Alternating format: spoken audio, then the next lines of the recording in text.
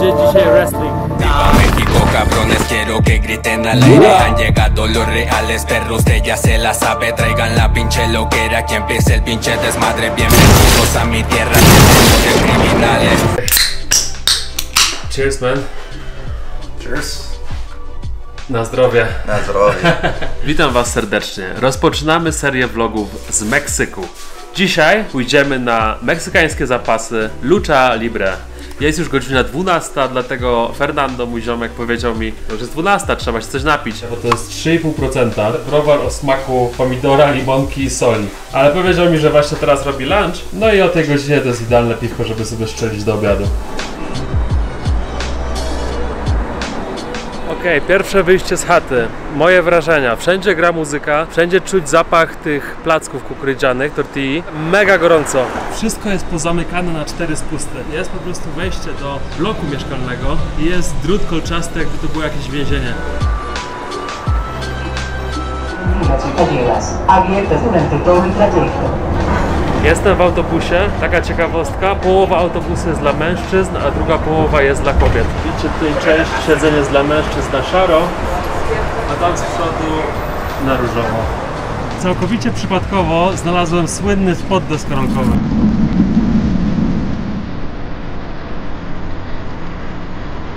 To mimo tego, że jest jakieś 30 stopni, wszyscy na ulicach noszą maski. Nie wiem jak oni się tu jeszcze nie ugotowali.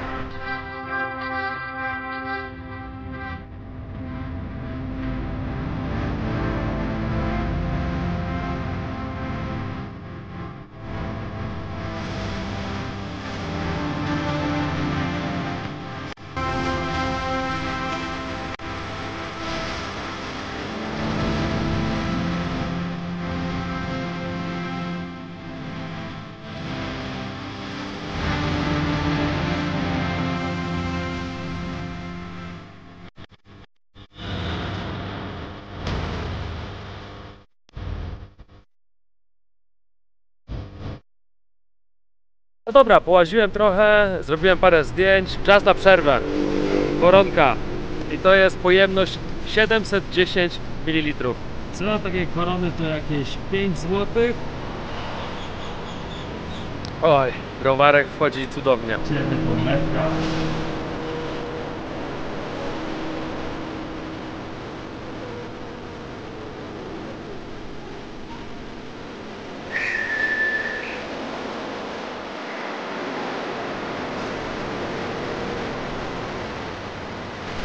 Dobra, jestem w metrze, a wy pewnie w swetrze, bo w Polsce jest jesień.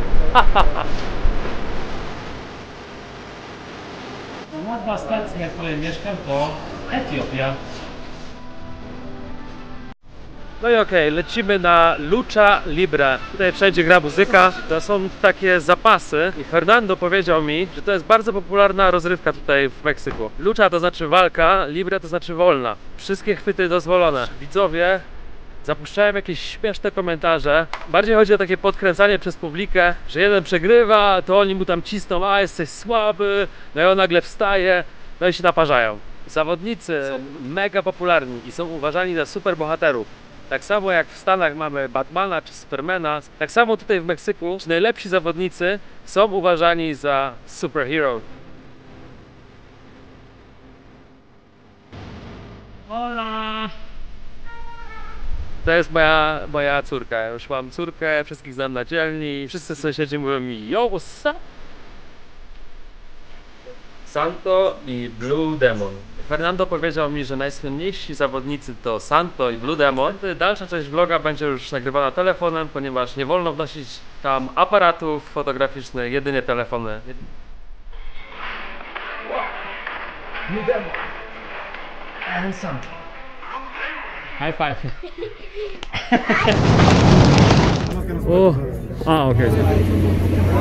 Okej, przed wejściem jest wiele sklepów, gdzie można kupić maski. Będzie dzisiaj wrestling. Za maskę zapłaciłem 10 zł. Tutaj się kupuje bilety, ale my już mamy, bo kupiliśmy online, baby. Dalej biznes z maskami się kręci. A tutaj jest stadion. Arena Mexico.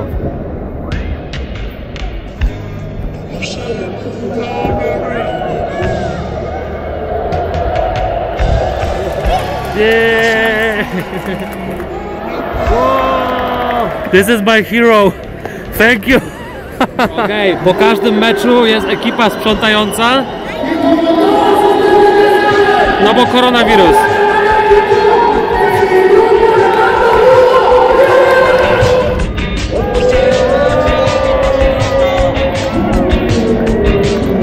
Jedna drużyna przestrzega zasad, a druga jest chamska i wali po prostu poniżej pasa. Dlatego to jest największy show, że jedni są ok, a drudzy są śliscy.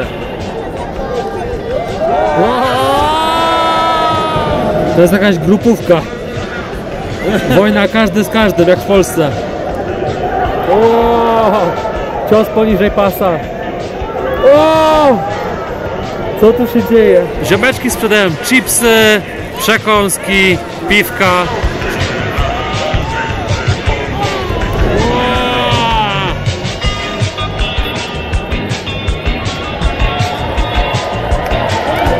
Widzicie? Ten ziomek jest bez maski. Sędzia jest trochę przy kości, ale też się dobrze rusza. Jeżeli stracisz maskę, to jest największy wstyd, jaki może spotkać zawodnika. I właśnie się dowiedziałem, że w tym momencie już nigdy nie możesz założyć tej maski. Możesz walczyć dalej bez, ale jesteś trochę takim, no, przegrywem. Dlatego zawsze największą jakby taką atrakcją jest to, że już prawie ściągają jakiemuś ziomkowi maskę, a jednak nie. Ale powiem wam, dziewczyny są e, ładne, ładne, zdrowe. Ona jest najlepsza na świecie. Do you have tickles? Tyka, tyka, tyka, tyka, tyka. Zapytałem się, jak dostać taką fuchę. Podobno to jest tak, że chodzisz na siłownię, tam cię mogą zwerbować, albo masz po prostu ziomka, który już w tym jest. Nie ma za dużo obcokrajowców, pojawiają się czasami. To są tacy raczej, wiecie, specjalni pieści. Wow! To jest niby udawane, ale to naprawdę trzeba wiele umiejętności oraz siły, żeby tak to wszystko... O, no na przykład to. Czy to był normalny but w twarz?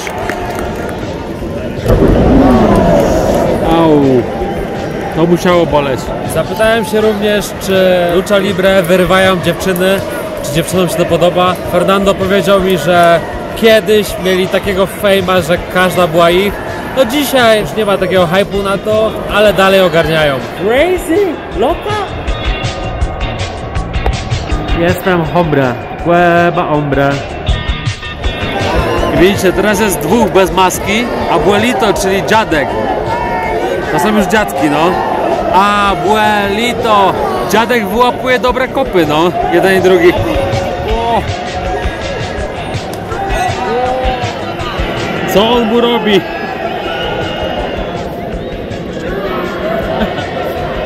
O!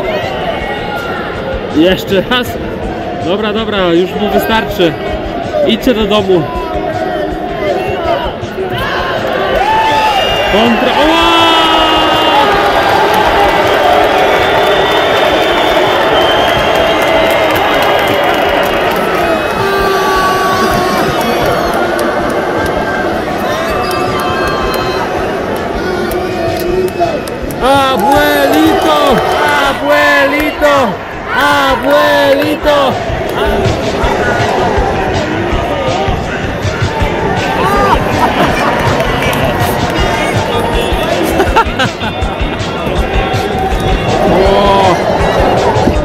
A Bonita znowu dostaje.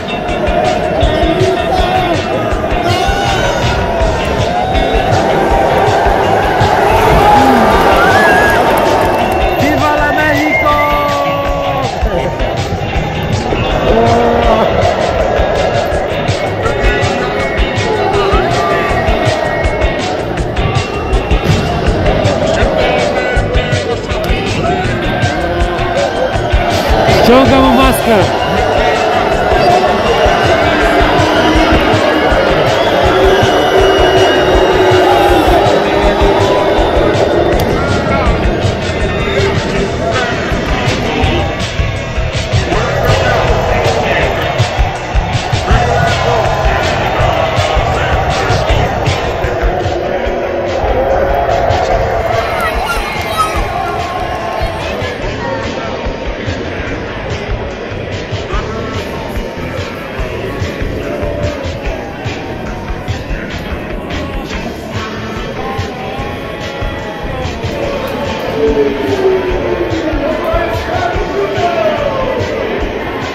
Super dzień. Wszyscy się cieszą.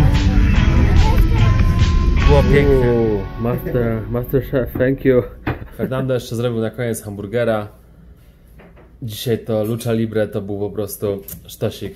Zostańcie ze mną po więcej meksykańskich przygód. Będzie się działo. Każdy dzień tutaj to jest coś nowego, wyzwania. Pozdro.